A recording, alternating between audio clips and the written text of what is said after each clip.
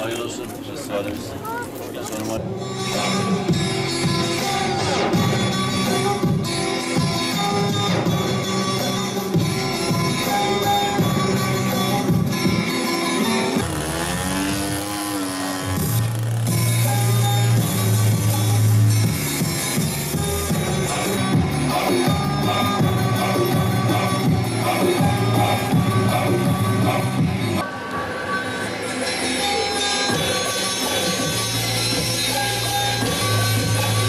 Gerçekleşmesinde emeği olan Türk Hava Kurumu Bafra Şubesi Başkanı Sayın Osman Genç, Bu sene üçüncüsünü düzenliyoruz ama her sene biraz daha büyütüyoruz. Belki eksikliklerimizi görüyoruz, onları tamamlıyoruz.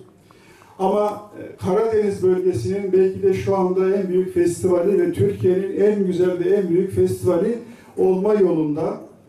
Festivalimizin bu seneki iki ayrı özelliği var.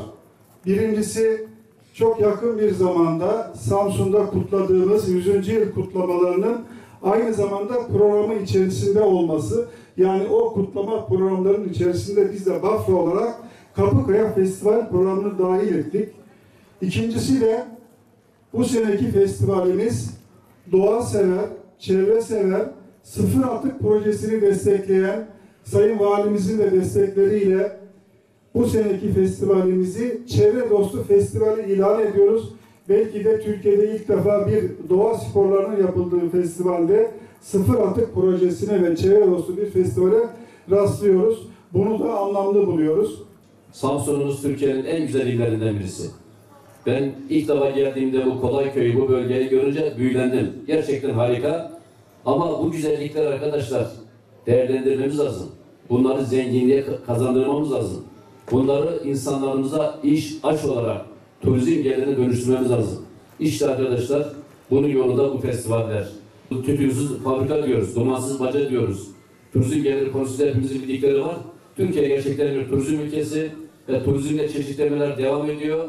İşte rakamlar geçen sene 50 bin lira buldu. İnşallah bunlar bu sene daha da artacak. İnsanlarımız maalesef piknik yaptıktan sonra, eğlendikten sonra doğayı kirletip bırakıyorlar ama burada sloganımız çevreye uyumlu bir festival sloganıyla başlamasını çok anlamlı buluyorum.